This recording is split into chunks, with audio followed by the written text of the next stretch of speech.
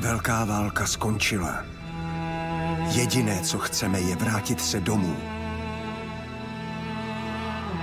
Do nové republiky, která se zrodila v srdci Evropy. Jenže trčíme tady, protože sílící občanská válka blokuje přímou cestu na západ. Jediná cesta ven vede na východ přes území, o které bojuje Rudá a Bílá armáda. Musíme přejet Sibiř v obrněném vlaku a pak bezpečně doplout domů lodí. Je to naše jediná šance, jak tuto dlouhou cestu přežít. Možná to bude náš poslední vlak domů.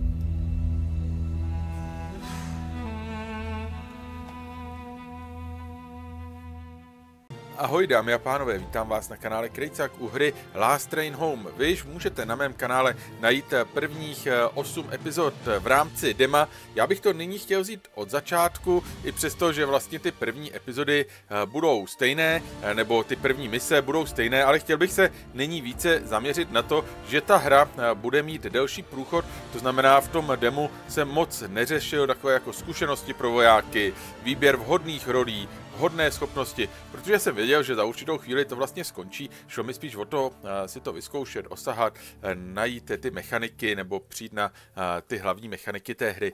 V tuhle chvíli já bych to chtěl pojmout úplně jinak. Chtěl bych se více soustředit na to, abych nestratil legionáře, aby mi neumírali, protože vlastně vojáci nejsou do nekonečna dostatkové zboží, to jak řeknu, prostě máte omezený počet těch vojáků, takže tam je samozřejmě důležité o ně nepřicházet. Chtěl bych lépe pracovat s těmi schopnostmi, zkušenostmi a tak dále. Takže jdeme na to, pustím první misi, já vypnu tutoriál, které, který ve hře je, jinak, jo, vidíte, zobrazit nápovědu mám vypnuto, jinak obtížnost jedu na velitele, to znamená všechno na 100%. Takže jdeme na to a jdeme zkusit první mise.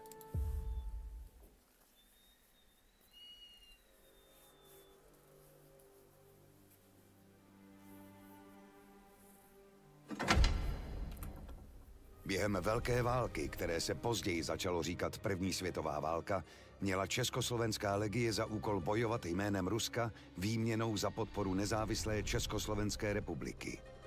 Válka si však vyžádala nesmírné ztráty na životech a hospodářský kolaps v Rusku, což zažehlo revoluci, která se sadila cara a přerostla v krvavou občanskou válku.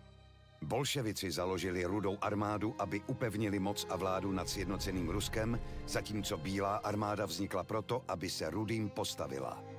Československá legie byla nyní ve velmi ošemetné pozici. Ozbrojená jednotka v cizí zemi, bez jasné příslušnosti k rudým či bílým.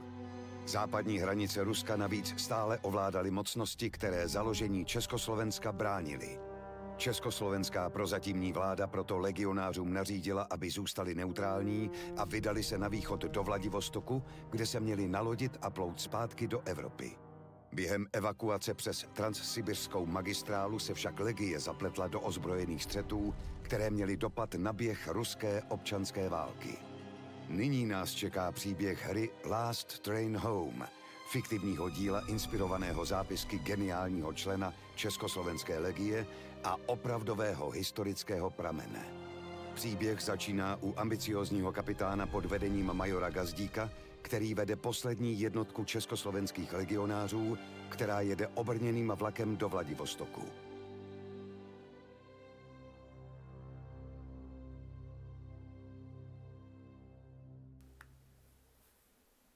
Tak jdeme na to. Bude nás čekat první mise.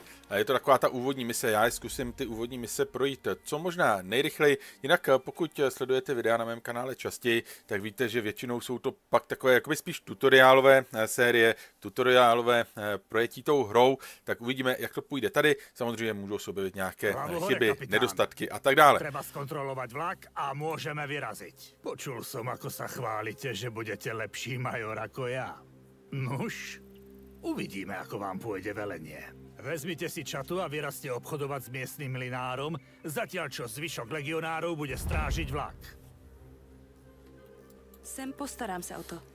Tak, eh, jedna eh, z takových důležitých věcí, které já chci v rámci tohoto průchodu používat, ano, jsou tady k vlastně skupiny vojáků. To mi v demo úplně nefungovalo, poměrně často mi padala hra, když jsem to využíval.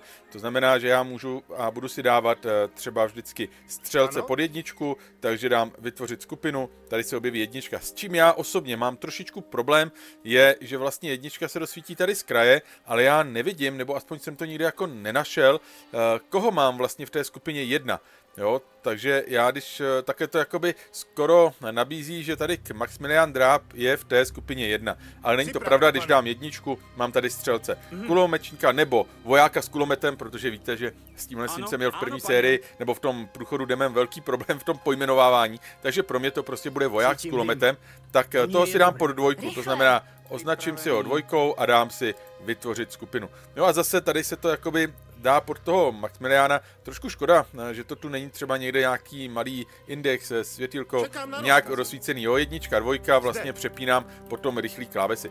Určitě stejně jako u většiny podobných strategií je podle mě důležité co nejdřív ovládat ty, eh, ovládat ty klávesové zkratky.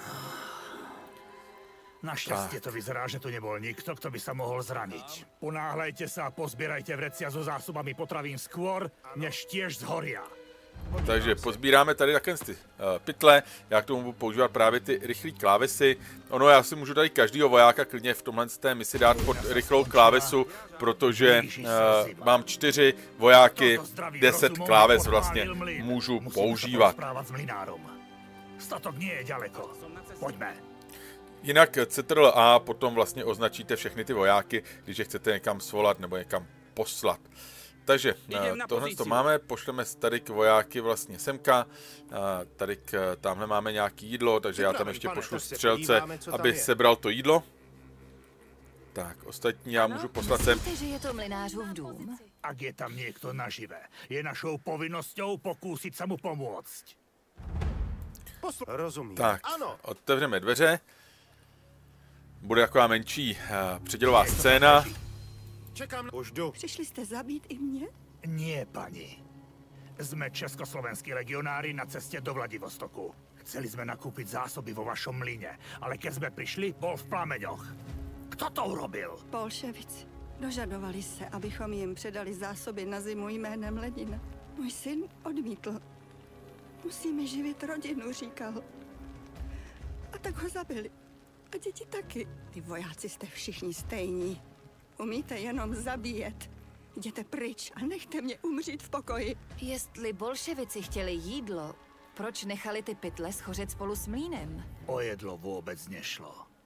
Tak to dopadá, keď odmětněte spolupracovat s Červenou armádou.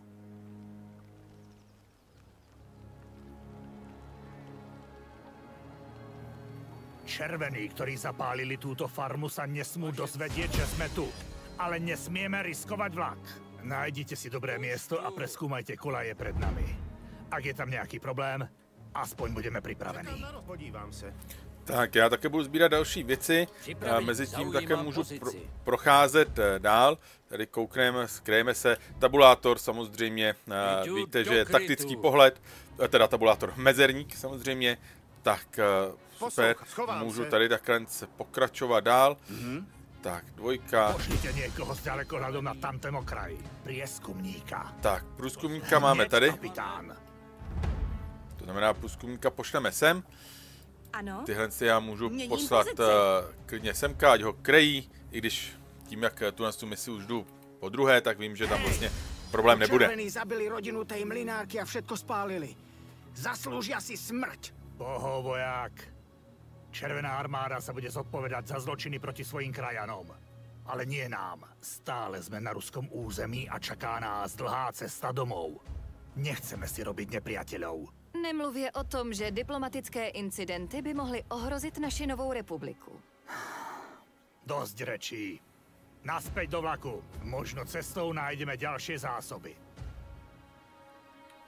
Připraveni, rozumím. Tak, můžeme se vrátit. Trošku mi uh, nebo nesedí úplně to, jak říkají červený v tom dubbingu, že jo. Tam bych opravdu čekal, ano, uh, čekal vlastně rudá armáda jako červená armáda, to jsem nikdy ani jako neslyšel. Nevím, jestli je to jako Naši nějakým už dlouho jiný jazyce, což nevím úplně v jakým. bychom si urobili strelecké cvičení so strašiakmi. Tak. Tady za střílem nechám střelce, ať eh, střílí, To jsou super. Pozor Tak na babu Jagu. můžeme pokračovat. Matku všech čarodějnic. Zboží bych měl mít eh, všechno sebraný, protože to už jsem sebral předtím. Tady je další. Tak a můžu zkusit, jestli zautočí tady k eh, vlastně eh, průzkumník, který by měl střílet pistolí, Ano, pane. nebo eh, průzkumník vlastně ne, ten má odstřelovačku a uvidíme, eh, co bude tvořit, jestli bude útočit, nebude. Jsem připravena. Útočím. Tak, eh, zdravotník bude střílet pistolí, super. Jde o to, že já tím šetřím vlastně munici. Jo, mohl bych to říct kulomečníkovi, nebo eh, ať to sestřelí, ale přijde mi to zbytečný. Ano. Raději vemu zdravotníka, Rozkazy. který přece jenom munici do pistole tý mám dost a ji snadno, snadno najdu, vždycky jakoby nejvíc najdu téhle z té munice. Tak jo, a dáme vojáky semka do té oblasti, aby mohli odjet zpátky. My legionári nikde nikoho nenecháme. Super, pokračujeme. Priveďte sem celú čatu, než dáte rozkaz na odchod. Jinak ohledně délky epizod, bude to různý podle toho, jakou budu dělat misi, jestli misi budu dělávat, nebudu. Eh, Když pojedu po mapě, tak eh, to ze začátku třeba můžu trošku přeskočit, eh, vysvětlím ten princip, který tam využívám a tak dále.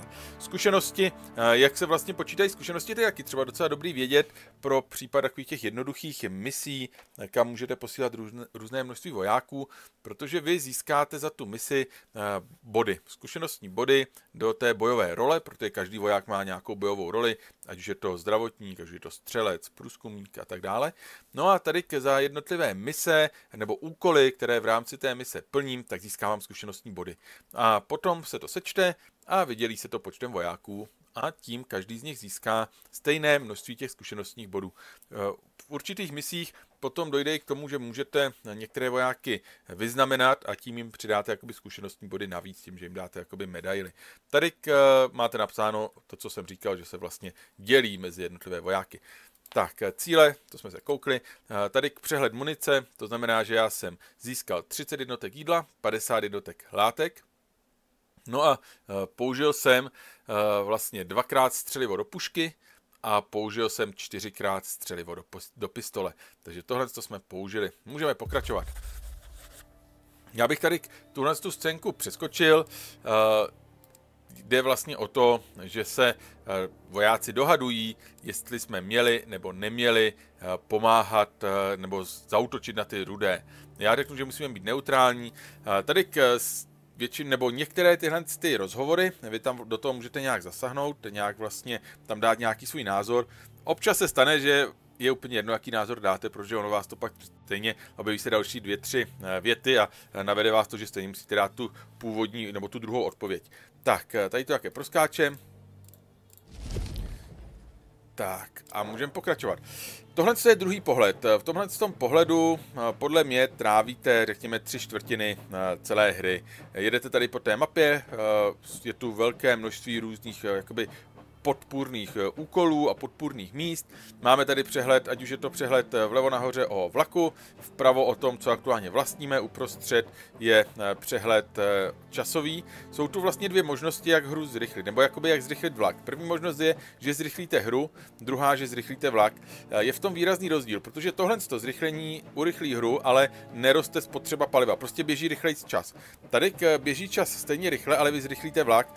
Tohle to se hodí, zejména případě, že vám tady pak roste hrozba, eh, že jste prostě někde dlouho stáli, jste vidět, tak eh, potom chcete samozřejmě rychle odsud odjet, aby na vás nezautočili.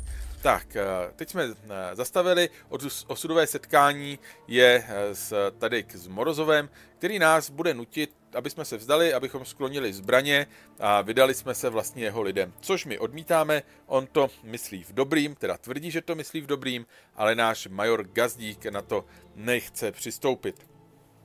Takže eh, zase můžete si případně stopnout a pročíst, eh, co tady kde, o jaký rozhovor tady jde. Zahájit misi. My si vždycky na každou misi musíme určit četu, vytvořit četu. Tady vlevo máme nějaké informace o té misi, máme tady k doporučenou velikost čety, že je pět vojáků, obtížnost 1 ze 4, případné odměny, tak můžeme získat nějaké nové vojáky, můžeme získat zkušenosti a můžeme získat palivo, látky a jídlo. Tohle je doporučená velikost čety, jestli ji zvolíme nebo ne, je v celku na nás. Tak, eh, tady máme nějaké další eh, věci, které máme. Jsou to různé eh, náboje, jo, vidíte střelivo do pistole, střelivo nebo zásoba děleco, děle, dělostřelecké munice, zásoba do kulometu, střelivo do pušky. Vytvoříme četu, já tam vlastně dám všech těchto z těch pět vojáků.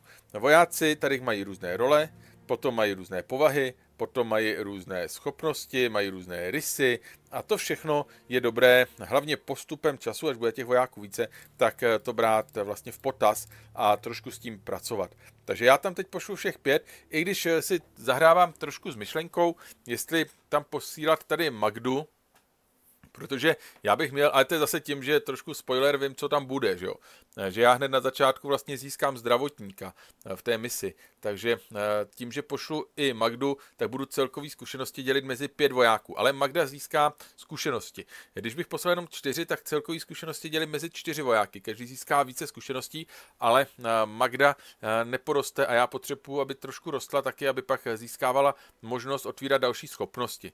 Každý voják se může specializovat na několik bojových rolí, ale nasazen může být jen jako jedna role a zkušenosti bude získávat také jen v té jedné roli. Co to znamená? Já tady mám třeba granátníka, no ale já ho pak postupem času tady můžou přibývat další role, jo? tím jak poroste, tím jak bude získávat zkušenosti, tedy když se podíváme na tohle ten přehled, protože jak už jsem říkal, u mě je to vždycky spíš trošku tutoriálový, a tak tady vidíme, že máme nějaké, nějakou hodnost, novou hodnost dostaneš, když získáš zkušenosti z misí a z práce ve vlaku. Za každou získanou hodnost voják obdrží buď bod role, který odemyká novou roli, to je vlastně dole, nebo bod atributu, který vojákovi zvýší jeden z atributů. Tady vidíme, eh, jestli mu můžeme dát plné příděly, poloviční příděly, nebo ho necháme hlady. Eh, teplota vojáka, což eh, v tuhle chvíli je v pohodě. Jsou tam pak vlastně úsek trasy, kde jedeme v zimě a tam už to hraje určitou roli. Tady máme jeho přehled stavu, to znamená, máme tady zdraví, máme tady morálku a máme tady výdrž. Potom tady máme rozvrh, vojáci mají buď jakoby denní nebo noční režim, případně jsou v četě, tak se jich to úplně netýká, ale my tam máme v tom vlaku i jakoby technickou četu. Tady jsou atributy, každý voják má atributy, které určují jeho schopnosti a vlastnosti. Vliv mají například na zdraví, kapacitu bojového inventáře, přesnost střelby, efektivitu práce a tak dále. Atributy se permanentně zvyšují s vyšší hodností a rolí. Dočasně mohou ovlivnit statusy, uh, statusy či použití spotřebních předmětů. To máme tady dole, k tomu se dostanu. Tady jsou vlastnosti. Vojákové vlastnosti určují jeho morálku, osobnost a fyzické rysy. Každý voják začíná s určitými vlastnostmi a během cesty do Vladivostoku může získat nové. Takže vidíte, že povaha eh, mstivý má s rudými nevyřízené účty, které třeba eh, splatit krví. Dokáže ovlivnit příběh během dialogu a dalších událostí. Eh, názor nacionalista. Rysy je slaboch, to znamená maximální hodnota kondice se snižuje o jedna, jo, takže tady vlastně eh, základní hodnota vidíte, že je 4, ale jeho efekt slaboch to o jedna sníží, takže má hodnotu kondice vlastně jenom 3. Tady máme nemotora, eh, to je maximální hodnota obrany, se snižuje o jedna, takže máme čtyřku. Oni na začátku mají čtyřky. Jo, a on má vlastně tady k ten atribut obrana eh, jenom, nebo obratnost eh, jenom 3, eh, protože zase minus 1. Tady máme ty role, role jsou tedy různé, aktuálně máme tady granátníka, jo, a vidíte, že tady tohle, zase co tady je dál, tak to jsou jeho řekněme, speciální schopnosti na té roli. Takže granátníková největší přednost je odborné zacházení s výbušninami. Cvičený granátník hravě zvládne používat granáty, miny a další druhy výbušnin. Zkušený granátník je ještě odolnější vůči výbuchům. Tato role vyžaduje nadprůměrnou kondenci a inteligenci. Takže tohle to není třeba úplně jako ideální, ideální voják, protože má sníženou kondici a je to granátník. Jo? Takže tady ten rys slaboch na granátníka není úplně to pravý ořechový. Tak a potom, co jsem říkal, tak tady dole máme ty spotřební materiály. Tam jim můžeme dát, můžeme jim dát třeba guláš. Jo, a vidíte, co to tady zvýším, to morálku, odstraňuje status hladový, eh, dá jim to jedno zdraví, jednak morálce za hodinu po dobu 12 hodin a tak dále. A tyhle si věci vyrábíme, ať už v jídelním voze, nebo to někde můžeme koupit. Takže tohle je Josef Mejzlík, koukneme jenom tady na ty další vlastnosti, takže rysy. Eh, maximální hodnota inteligence se zvýší o jedna, protože je to koumák. Jo, tady vidíte, že má inteligenci vlastně 5. Eh, lovec, to se nám hodí potom, když půjdeme třeba do lesa nebo k jezerům. No a tady máme bystrozraký, zvyšuje dohled a šanci na zasažení nepřítele, což je super u průzkumníka, jo, ideální varianta. Tady máme uh, silná vůle, maximální hodnota odvahy uh, nebo odhodlání se zvyšuje plus 1, vidíme, tady má 5, uh, pracant, 15% k efektivitě práce, když třeba opravou lokomotivu nebo něco podobného. Jo, svědomitý, takže tady máme eh, tohodle vojáka. Jinak životopis nemají žádný medaile zatím. Antonín Kůra, ten tady má zmrzlík, má vyšší šanci, že onemocní. Potom bylinkář, zase ten se nám hodí, když půjdeme na takový ty podpůrný mise do lesa. Eh, pracant, eh, věřící, takže zase tady si můžeme přečíst, co to, co to dělá. No a Magda, Magda má, je slaboch, to znamená má o jedna nižší kondici, na druhou stranu je to sympatiák, to znamená má o jedna vyšší zase tady char- charisma a je to hospodář. Zase, eh, když půjde na nějakou konkrétní eh, vlastně podpůrnou misi, může získat nějaké tyhle ty výhody. Takže eh, s tímhle s tím já jsem třeba v rámci toho dema vůbec nepracoval. S těma rysama a s tou povahou a tady k atributy. Nyní chci i tohle více řešit, chci se i na tohle více zaměřit, proto jedu vlastně jakoby od znova, proto eh, dávám ten průchod znova. Takže nasadíme si tuhle tu četu, nepotřebuju dřevo, nepotřebuju přikrývky, protože uh, vlastně nejdu, není zima. Jo, když bude zima, bude se hodit, když jim třeba dáme nějaké dřevo. Tak, uh, jdeme tedy na tuhle další misi, která už by mohla být i bojová, pokud se nepletu a dobře si to pamatuju.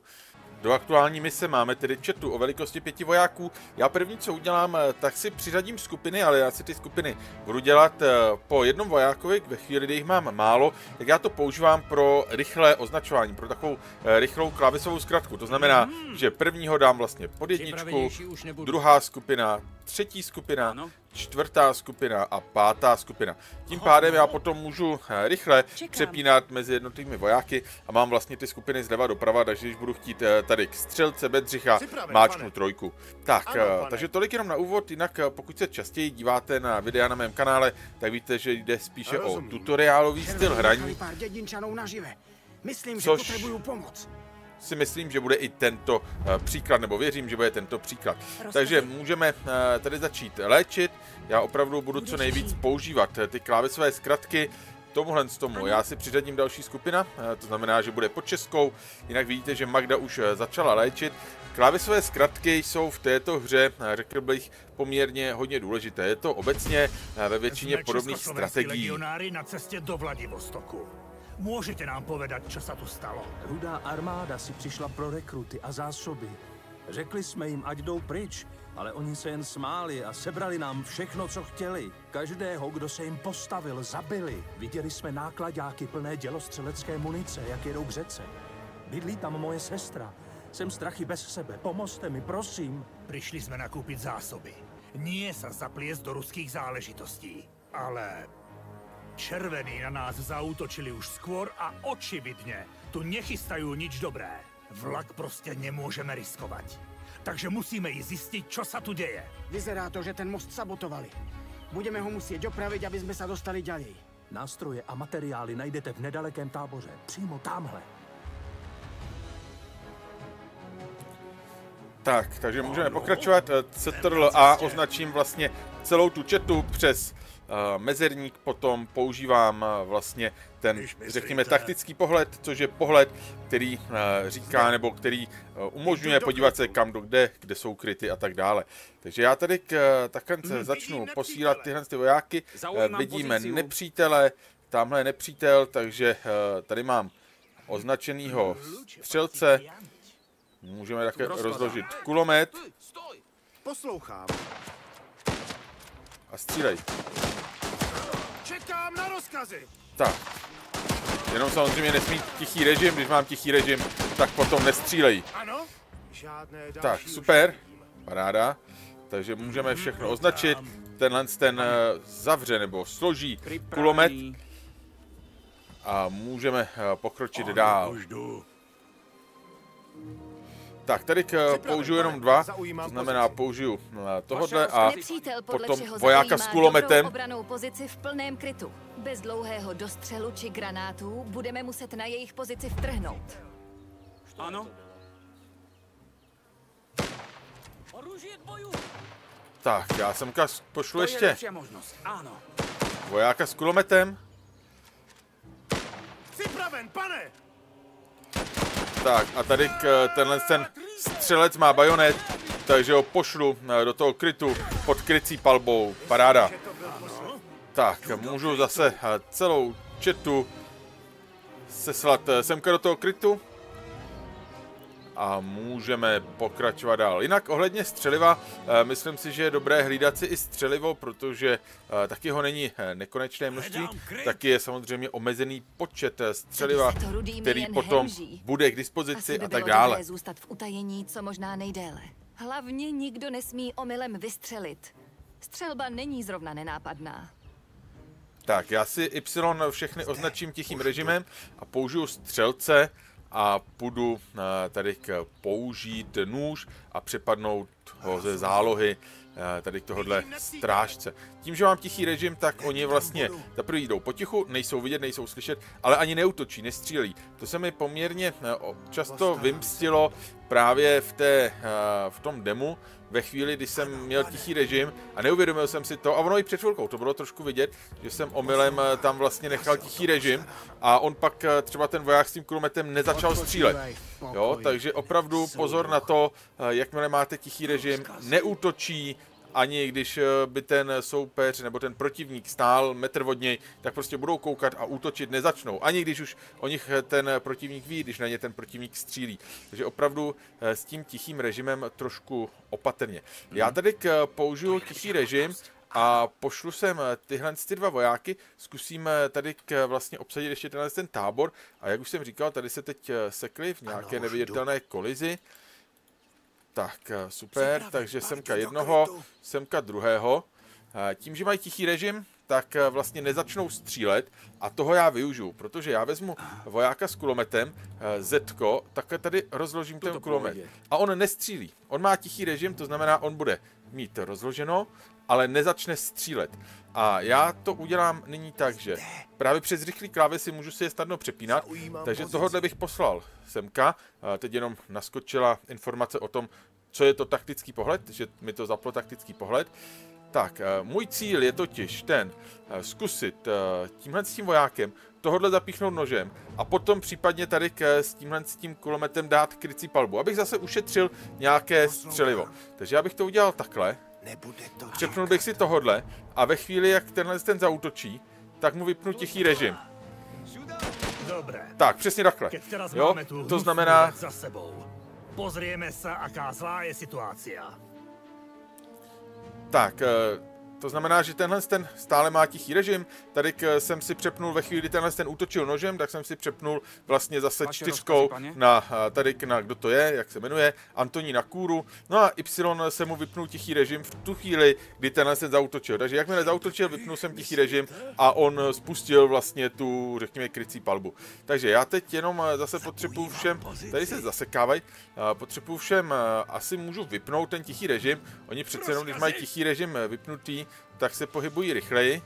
Tam u toho zapínání, vypínání, tam trošku pozor, eh, když třeba jeden voják ten tichý režim má zapnutý, zbytek nemá. A teď to jako chcete zapnout, vypnout, eh, třeba když bych Mhm. tady u toho eh, zapnul tichý režim, teď označím všechny a mášnu tichý režim, tak eh, nejdřív všem ten tichý režim vlastně zapnu, potom zase vypnu. Jo, není to tak, eh, že bych ho vlastně tady u toho třeba vypnul. To samý naopak, když mám potom třeba tady u těch eh, tichý režim, označím je také všechny a teď máčnu Y, tak v tuhle tu chvíli jsem u nich ten tichý režim u všech vypnul. Ale kdybych to měl takhle a měl jsem teď označenýho tady toho, co nemá ten tichý režim a v tu chvíli se mi označil všechny, zase vypne. Jo, takže ono je to tam trošku takový divočejší. Ano. Chci říct, takhle mám zapnuto Rozkazy. a teď vidíte, že jsem zase pro změnu, teď jsem jim to ne, eh, nevypnul, ale tomu jsem to zapnul, protože jsem ho měl označený a měl jsem ho s tím plným kolečkem. Jo, takže opravdu to zapínání, vypínání tichého režimu eh, je to trošku o zvyku, o tom, eh, v jakém pořadí vlastně klikat ty klávesy. Teď máme, co potřebujeme k opravě mostu.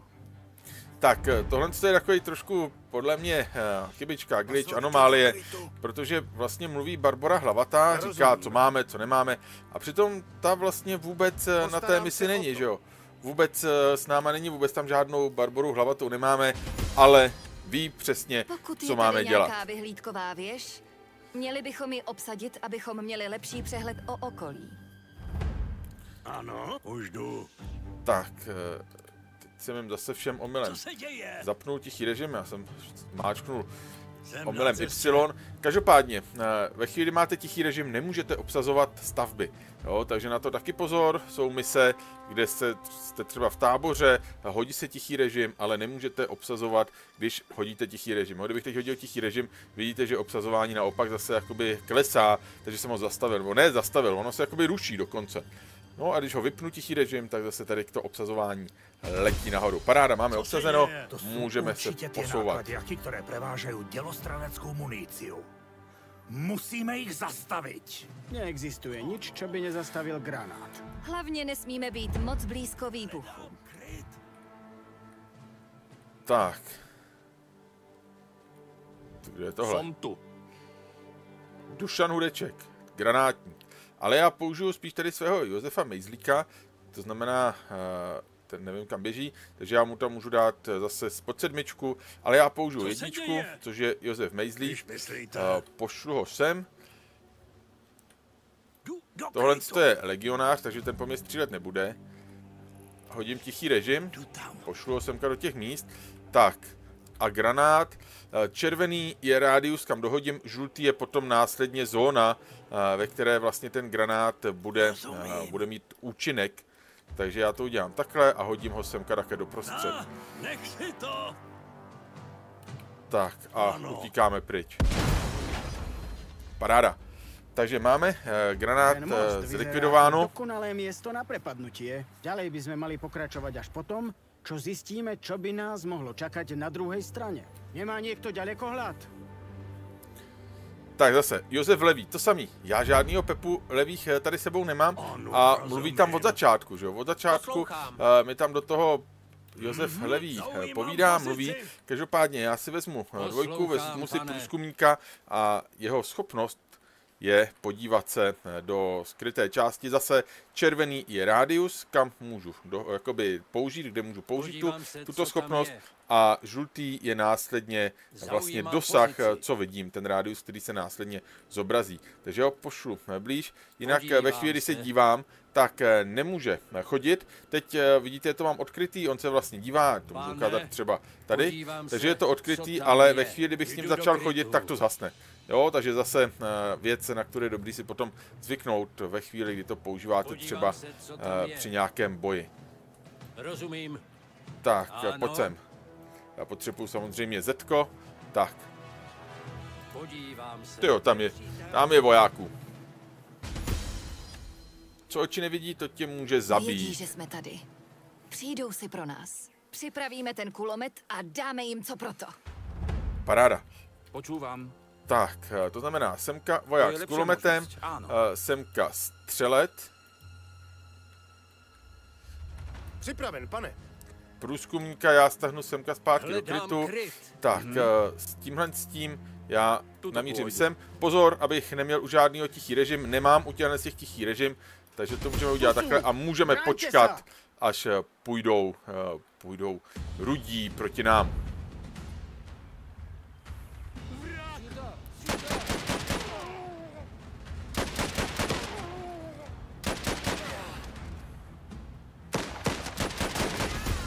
Tak, ještě jeden.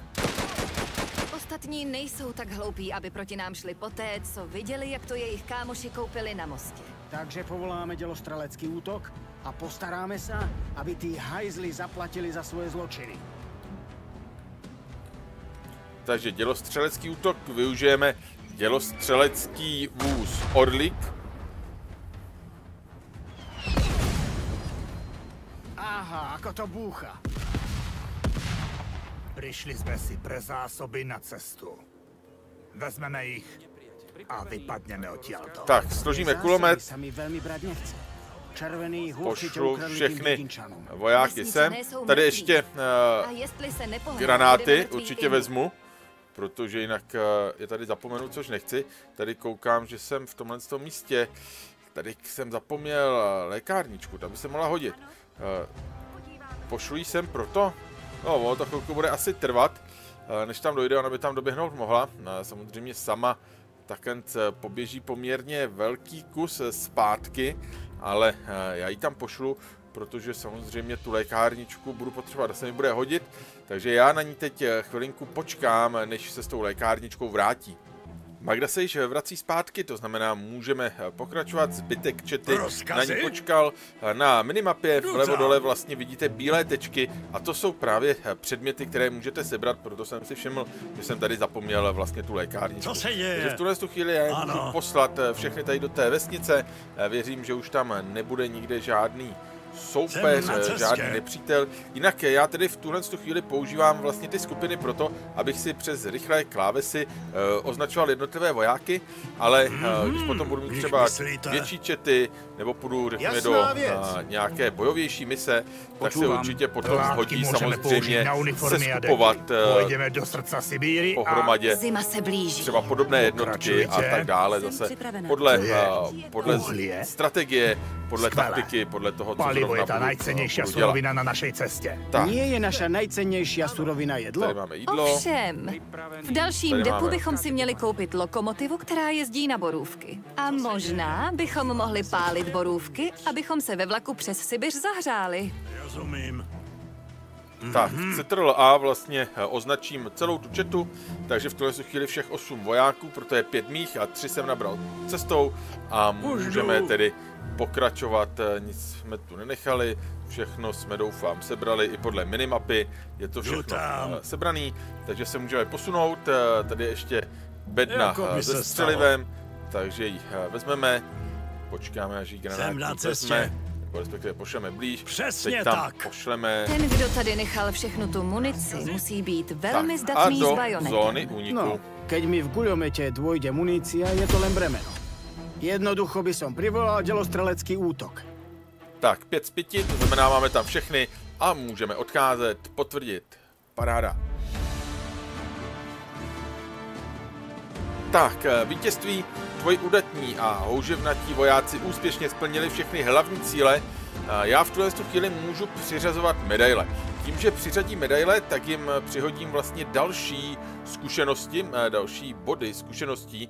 Eh, Vidíte, že v tuhle tu chvíli eh, mají různé, různé zkušenosti, dostali nějaké body navíc a já když jim hodím vlastně medaily, tak po- poskočí. Takže můžeme dát medaily klidně tady k Kůrovi, který tam poměrně s kulometem dobře střílel. Tak nová úroveň, povýšení, protože vlastně dosáhne tím, že mu dá medaily, tak on dosáhne více. Můžeme se podívat, má 1425, to znamená, že do eh, těch dvou a půl tisíc je to 1025 a potom má 425, to znamená, oni jakoby za tu medaili jim dáte 1500 bodů zkušeností jo, do té bojové role. Takže já když mu dám tady 1500, eh, protože Betřich Kopecký taky dobře s nožem tam zacházel, jo, tak teď má 425 a skočil do další úrovně. A já si potom můžu tady dát zdravotníkovi, abych si vyhnal zdravotnici co nejvejš. Super. Eh, Tím, že je povýším, eh, tak oni vlastně potom následně eh, za prvý získávají hodnost, jo, takže zvojí jsou eh, svobodník a navíc si můžu přiřazovat potom další atributy nebo body do atributů, body do rolí a tak dále. Na to se za chvilku podíváme. Každopádně cíle, vidíte, jsem splnil, pokud se nepletu všechny, takže zase eh, došlo k tomu, že se sečetly celkové zkušenosti, vydělilo se to pěti, protože mám pět vojáků, to byla vlastně ta základní zkušenost, kterou dostali a k tomu jsem eh, rozdal ty tři medaile. Přehled, eh, takže kořist, co jsem získal, tak 63 střeliva do pistole, 170 střeliva do pušky, eh, 100 látky, 20 palivo, 20 jídlo, použité střelivo, 25krát střelivo do pistole, 16krát střelivo do pušky, 46krát střelivo do kulometu. Já jsem žádný nezískal, takže tam jsem vlastně v mínusu, což taky není do budoucna úplně ideální samozřejmě. Použité vybavení, takže použil jsem jednu lékárničku na začátku na toho vesničana a použil jsem jeden granát a naopak našel jsem lékárničky, eh, uspávací čutoru, výbušné granáty, nášlapné miny, kouřová bomba. Eh, to jsem tam vlastně získal. Tak, eh, můžeme dát tedy odejít. Tak, zase dochází k nějakému rozhovoru mezi vojáky v rámci vlaku. Tak, máme nové, eh, nové legionáře, to jsou ti tři, takže je to Alfred Kraus, Alžběta Vybíralová a Dušan Hudeček. Je to jeden eh, tedy k průzkumník, který má tu odstřelovačku, je to jeden zdravotník, který má eh, klasický revol, levor, revolver, pardon, a je to granátník, který mám pocit má krátkou pušku, jo, přesně tak. A, tak, No a když tady máme ty povýšení, tak tam jsem ještě říkal, že se na to podíváme, takže já si můžu otevřít tady k tyhle ty a vidíte, že Magdalena Zámecká za přínos a statečnost dostává povýšení na hodnost svobodník. No a já mám aktuálně dostupný jeden bod uh, atributu. Uh, já se podívám, tak a navíc uh, tím, že získala novou úroveň, tak i tady vlastně poskočila inteligence a má novou pasivní, pasivní schopnost, řekněme, kdy může vlastně zvyšuje obranu během léčení či stabilizace zraněného vojáka. Může použít libovolná bojová role. E, tak. Takže, tady můžeme klidně e, vlastně otevřít Jo, takže máme zdravotníka, zdravotník dokáže na bojišti poskytovat základní první pomoc, což vojákům výrazně zvyšuje šanci na to, že se v misi v pořádku vrátí a tak dále. Doktor, stát se doktorem a pracovat ve zdravotnickém voze mohou pouze vojáci s vysokou inteligencí, jo, takže může se potom s ní stát vlastně doktor, když budu mít i zdravotnický vůz. No a já jsem teď už vlastně se dostal na tuhle tu část, takže jsem odemkl tuhle tu pasivní, mají aktivní a pasivní vlastně schopnost, tady k, jsou potom další různé pasivní a aktivní, a aktivní schopnosti. No a, a tak, já nebudu aktuálně žádnou odemikat. A tady, když se tedy koukneme na zdravotníka, tak potřebuje, pokud se voják se stát zdravotníkem, musí mít nadprůměrnou inteligenci a charisma. Takže my můžeme teď buď třeba inteligenci, zvyšuje rychlost u schopnosti vyléčit, to znamená, že rychleji léčí, a charisma, tam máme výzva k opatrnosti, ale já bych to dal k té inteligenci eh, právě tím, že to ještě eh, zvýším, tak eh, bude zase rychleji léčit. Super, použít jeden bod atributu. No a já když se kouknu vlastně na svoje vojáky, můžu klidně tady přes přehled chat, nebo tady k, přes vojáky, tak, kde máme ještě ty povýšené, tady, jo, u těch, co jsou takhle, tady ta orlice v tom zeleném, tak je to vlastně, kde mají body atributů, které jsem ještě nerozdělil. Takže Bedřich Kopecký a já zatím to nebudu takhle potvrzovat. Jinak eh, získal jeden eh, bod ke kondici a eh, má tiché kroky. Takže zase výhoda, pasivní vlastnost. No a já když se kouknu, tak střelec a když se vlastně podíváme co má střelec. Na tuto eh, roli potřebuje voják kondici na základní úrovni. Takže já bych mu dal asi možná ještě zase přidal kondici, jo, aby eh, měl případně obratnost. Tak, asi eh, zdraví, poškození kontaktní. Tak já mu dám tady kondici, super. No a tady zase dostupné, tak můžeme tady z něj udělat případně i jinou roli. Tak, opravdu chceš odemknout do roli kulomečník, uh, doktor a tak dále, granátník. Tady mě to nabíží kulomečník, protože mám splněny všechny požadavky. Jo, ve chvíli, kdybych z něj chtěl udělat třeba doktora, tak vidíte, že potřebuje mít 6 inteligence, mám 4. Kdybych z něj chtěl udělat třeba průzkumníka, potřebuji mít 5 uh, vlastně obratnost mám čtyři. Kdybych z něj chtěl udělat kuchaře a tak dále, takže potřebuji různé body. Já z něj zatím nechám jenom střelce, nebudu zatím žádnou roli další odemykat, protože v tuhle chvíli nepotřebuju, aby měl zdvojenou roli. No a Antonín Kůra, to je to samý, takže ten tady získal kontrolovanou dávku, Eh, což je jeho pasivní schopnost. Zase mohl bych případně tady odemknout další role, no a já bych eh, tady k vlastně eh, dal asi k, co to je, kulomečník, tak bych dal taky kondici. Tak jo, takže máme rozděleno, já můžu vlastně opustit nádraží, můžu vyrazit pomalu, ale jistě dál. Ode mě by to eh, pro dnešní první epizodu bylo všechno. Eh, já se teď eh, pomalu listě přesunu k Moskvě, kde mě čeká taková ta první větší bitva. Zase zkusil bych ji udělat lépe, než jsem ji dělal v rámci dema, abych třeba nepřišel o žádné vojáky, protože to je pro mě určitě velmi důležité, abych o vojáky nepřicházel a měl jsem jich co nejvíc a mohl jsem potom samozřejmě co nejlépe bojovat. Nákupní seznam samozřejmě v průběhu cesty na mapě naskakují různé úkoly, nebo řekněme různé uh, body. Tady je Kaluga, což je nákupní vesnice, potom tady můžeme mít jezero, můžeme tady mít les, ale na to už se zase podíváme trošku příště. Takže mějte se pěkně, ať se daří a já se na kanále Kricak u další epizody budu těšit zase na slyšenou. Tak ahoj! Děkuji za shlédnutí dnešního videa, děkuji také za vaši podporu. Dále děkuji členům úrovně Krejcárek Senior, kterými jsou Daniel Sokol, Barry, Richard, Pavel Černil a Farsem 17. Takže díky všem a u dalšího videa na kanále Krejcák se zase budu těšit na viděnou a naslyšenou.